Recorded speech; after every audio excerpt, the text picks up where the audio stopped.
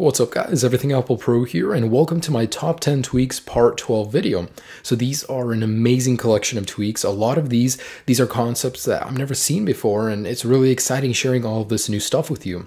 Now of course these are all compatible on the latest 8.1.2 firmware or jailbreakable firmware as well as the 6 Plus, 6 and most iPads. Now of course you guys do need to be jailbroken in order to enjoy these tweaks. Sadly, Apple has taken away the ability to jailbreak with the newest 8.1.3 firmware. At the moment of making this video, it's still possible to downgrade. So you guys can go ahead and downgrade using this tutorial right here if you're on an unjailbreakable firmware. And if you guys haven't jailbroken yet, you can do that down here using these links. Of course, you do need to be jailbroken and it's worth it. There's so much cool stuff you can do. And with that being said, I do want to mention that a couple of these do need custom repos in order to install. So to get the sources, the full tweak list, and the wallpaper I'm using in this video, and some bonus tweaks, just click right here on that link. It'll take you to my website and the full list and all the sources, the wallpaper, everything will be there. All right, so this very first one I'm going to be showing you guys is called Anchor. It allows you to move around your apps on your Springboard and organize them in any fashion you'd actually like. So let me give you a demo real quick. Let's say I want to move Cydia over here. Well, stock iOS just bounces it back, whereas with Anchor, you can now move it to any position that you like and it'll sit there. Now, using this, you can actually make for some really interesting patterns. For example, this right here, or I can remove the four in the middle make a really cool looking pattern. Organize your pages in any manner that you like. Now there's a tweak called iBlank and it achieves pretty much the same effect, but it's not as easy to manipulate. So there's that right there. Now this is very similar to Gridlock, which was available for older firmwares, but this has been updated and it makes for some really interesting possibilities. Now settings are pretty limited inside. You know, you just have the option to enable it or disable it, and you can see a preview of how your screens look. It's called Anchor, and I would absolutely recommend this one. Now here's a tweak called Harbor. It allows you to put more applications down below in your dock, or harbor more apps as the name suggests, and it adds a Mac OS animation when sliding through them. So this is really cool. I'd like to see this on the iPhone. It's weird how some features from the computer make sense on the iPhone, but whichever one you last land on is the one that opens. So not only does it add that animation, it helps you see which application you're currently selecting, and if you want to move one, just slide it out like that. And you can put it in just like that. Just drag it back in. And it makes room for a lot of apps at the same time. Now the more you have you know you can actually magnify the zoom so it doesn't get harder to see in here let's say I magnify it to all the way up there now when I go back and run through them, they'll bounce up even higher. Now this tweak also implements bounce notify inside of it, so any tweak that has a notification will bounce when it's in here. So a really well-made tweak, and if you actually zoom in real close, you can see the details. It's a very well-made tweak. The dock behind it Yes, you can see it looks really nice. It's like round dock combined into it. And when you're inside another application, it'll bounce through like that. You can, of course, adjust all the settings in here. There's a lot to play with, but I definitely would recommend you guys download this and try it out for yourselves. Now, here's a camera application tweak, and I really like these. There's a lot to choose from, and I'm always excited when a new one comes out because Apple's application for the camera is pretty bare. There's not much feature-wise going on, but the latest tweak is actually a shortcut. So just double tap on the screen like that using tap tap flip and it actually reverses the camera. So I'm using my front facing camera right now, double tap it and it flips back to the rear facing camera. Really convenient and this works perfectly on all iPhones, iPads.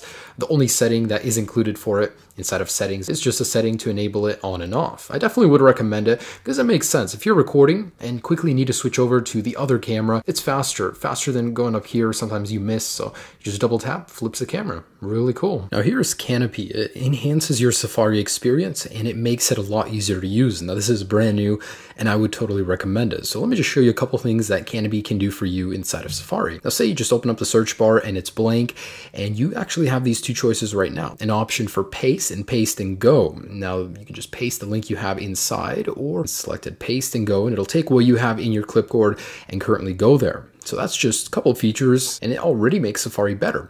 Now, if you hold this guy right here for a new window, it automatically opens up a new window and you can change the behavior between, you know, take it out of your current tab and boot you into the new one or just open it in the background. Also, if you go out here, and you hold the done button, it'll clear all of the windows right away just like that. So you don't have to go individually and, you know, slide through them. So My favorite feature is that it opens up a new window by holding that. Number one thing I hate is having to click this and then clicking the new page right here. I mean, it's just so much better. Now, there are a couple more features I'm not mentioning, but it does make your Safari experience a lot better. And this little circle that you saw me moving around up here, it's called App Button. So first off, you can move it anywhere you want on your screen, and it's unobtrusive. It runs in the background, but when you click on it, it does open up the last application you were in. It's basically a super fast way to multitask. Now hold it and drag and as you can see, you can go through preset applications for quick multitasking. Now you can be on the springboard, you can be within another application, still have this dot here and be like, hey, I need to do this over here in a Safari, and it'll take you there real quick. So you can choose which applications you see first, and you can choose how long you want to drag it by putting as many applications as you want up there. Let me go ahead and show you the settings. So in here, you can choose which apps, you know, you can put so they appear in this list. As you can see, those apps that I have selected, they appear right here you know, just to move one up there, you can just press them and they'll appear right there. And changes are immediate. So as you guys can see, I now have those apps up here and it'll scroll through them if you don't have enough space on your screen, like right here. As you guys can see, a really well-made app. It's been in development for a while. It's called App Button, and I definitely would want you guys to check that out. Now, this tweak is brand new. It's called Clean Lock, and it's probably one of the best well-made lock screen tweaks I've ever seen. It keeps your screen clean. Now, I just went ahead and sent a text message to my phone. It rang, but it does not appear on your lock screen. And this is because it tries to keep your lock screen clean. If you guys are getting a lot of notifications, it can make things messy. But Clean Lock keeps everything organized. Just tap once on the side of your screen, and as you can see, all the tweaks you currently have a notification for are listed here. So if you select one, and from here, you can use that notification and slide it. Now, what I love about this tweak is how subtle it is. It's very clean. It just matches very well with iOS 8, and it plays nice with a lot of other lock screen tweaks. So as you guys can see right there, it's really well made. You can actually clear them out just by sliding like that. It'll clear everything out. Clean Lock keeps your lock screen clean while giving you a nice area to view all of your notifications in. Now here's CC Scale. As you guys can see, my control center looks a little bit more spaced apart. It almost looks like an iPhone 6 Plus and I'm using an iPhone 6. Now if I go into here, I can choose the value at which it scales everything. And I had it at 90, so if I enlarge it, to the maximum. And now I go here, as you guys can see, all of the buttons are blown up and it doesn't look very well because it's cut off. I say 90 is probably one of the best places to be and basically change the size of the UI elements in your control center using CC Scale. Now here's a pretty useful tweak. It's called On Tap Music and it gives you music controls in your reachability area. Now you have to be within an application. As you can see, it gives you this really nice look for your music switcher and it puts it in your reachability. Now this does require a source and it still is in beta, but I found it to be quite reliable. Let me show you how it works. So activate it using reachability. So you do have to have a song playing, but activate it, double tap to pause the song. If you want to move on to the next song, just slide like that.